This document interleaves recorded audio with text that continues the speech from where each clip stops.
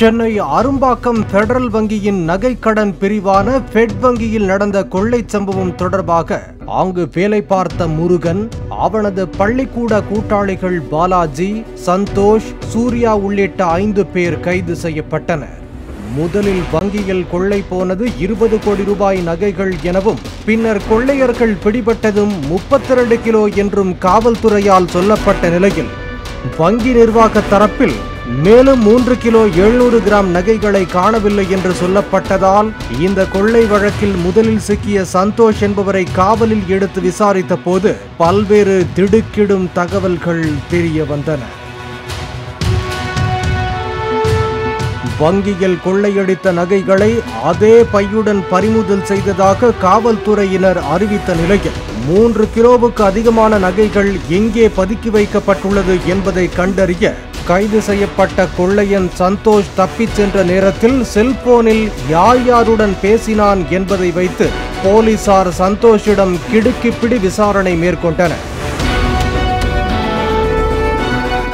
அப்போது தனிப்படை போலீசாரிடம் தான் உண்மையை சொன்னால் தன் மீது நடவடிக்கை எடுக்க மாட்டேன் என்று சத்தியம் செய்து கொடுத்தால் சொல்கிறேன் என கூற போலீசாரும் நடவடிக்கை எடுக்க மாட்டோம் என்று கூறியதை அடுத்து சந்தோஷ் தனது மனைவியின் சகோதரியான இந்திராவிடம் பேசி அவரது கணவரும் சகலைப்பாடியுமான அச்சரப்பாக்கம் காவல் ஆய்வாளர் அமல்ராஜின் வீட்டில் நகைகளை மறைத்து வைத்திருப்பதாக கூறினார்.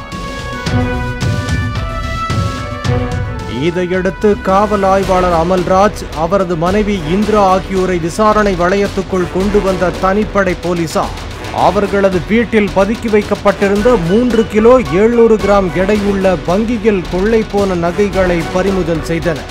காவல் ஆய்வாளரையும் அவரது மனைவி இந்திராவையும் விசாரித்த போலீசார் அமல்ராஜ் மீது துறை ரீதியான நடவடிக்கை மேற்கொள்ளவும் பரிந்துரைத்துள்ளதாக தகவல் வெளியாகியுள்ளது. கைதாகி ஜெயிலுக்கு சென்று வந்த பின்னர் அந்த நகைகளை எல்லாம் பிரித்து கொண்டு சந்தோஷமாக வாழலாம் என்று எண்ணியிருந்த கொள்ளையன் சந்தோஷின் கனவில் இடி விழுந்துள்ளது குறிப்பிடத்தக்கது. பாலிமர் செய்திகளுக்காக செய்தியாளர் சரவணகுமார்.